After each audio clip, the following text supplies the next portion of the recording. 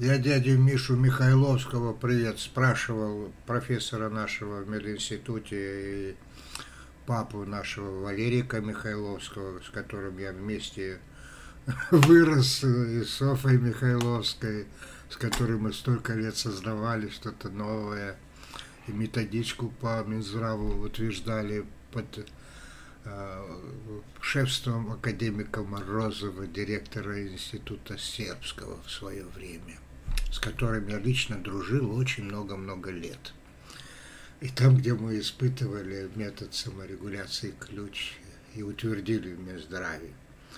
Так вот, э, дядя Миша, профессор Михайловский, был проректором мединститута, Дагестанского государственного мединститута. Я его спрашивал, а что такое гений? А он говорил, ну это человек с развитым мышлением.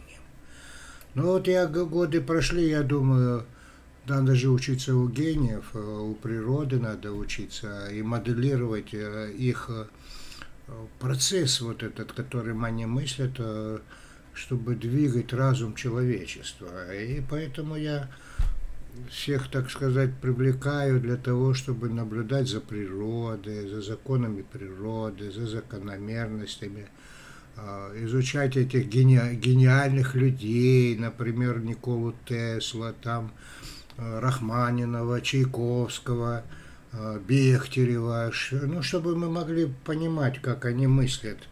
Э, я, например, понимаю так, что большой глобальный мир, в котором человек находится, и чем больше противоречий в нем, казалось бы, на первый взгляд, когда все перелопачивается в одной голове с какой-то высокой точки зрения, например, с точки зрения доброты – красоты, ну, как у Достоевского, да, перелопачивается с этой точки зрения, а, и там много ответов появляется, и вот чем больше противоречий перелопачивается, тем шире понимание.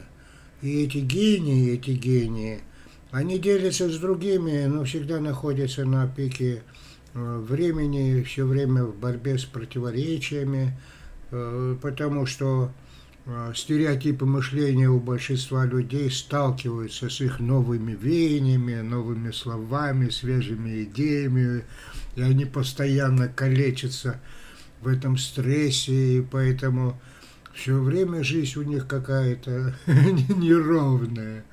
Ну вот это очень интересно. Я вот э, много лет думал о том, что является причиной, почему женщины, например, они все время старательны, они все время дисциплинированы, они все время терпеливы.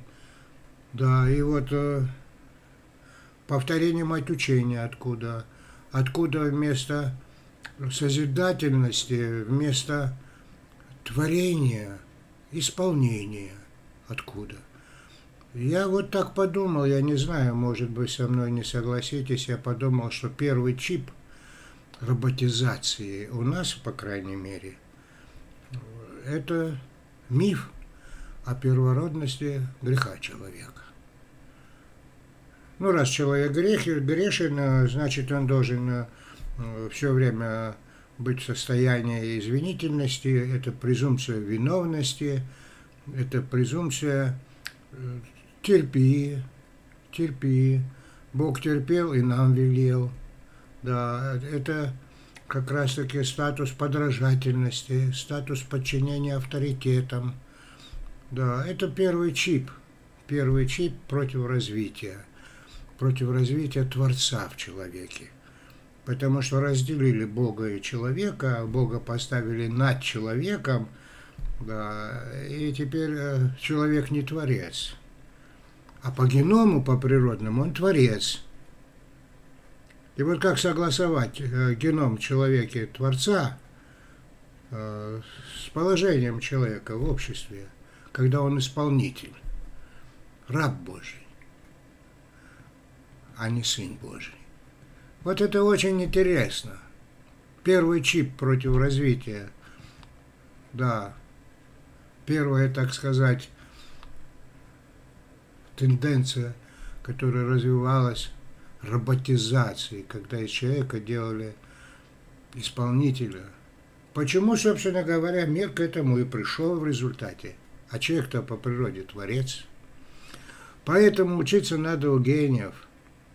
Слушать новое, пытаться понимать, о чем они говорят. А мы вместо этого противопоставляем им старые стереотипы и мыслим не гениально, не способом сотворения, а способом исполнения. Да, старайся, повторяй, пока не получится, будь дисциплинированный. Да, это обезьяний рефлекс. Короче говоря, чтобы выйти из обезьяньего рефлекса биоробота исходного, из которого мы происходим, из инстинктов, рефлексов, да, выйти на созидательные рефлексы – на развитие Творца в человеке. Это очень интересная тема. А вы говорите чип, вы боитесь чипов. Да вы давно зачипированы в большинстве своем. Потому что я это вижу, потому что каждый раз, когда я вам говорю, перебирайте варианты приемов по критерию индивидуального соответствия, синхронные вам – а мне женщины в основном пишут, а вы нам дайте четко порядок, как надо делать, потому что их со школы приучали к старательности, а не к сообразительности. Ну ладно, до встречи, друзья. Это очень серьезная тема.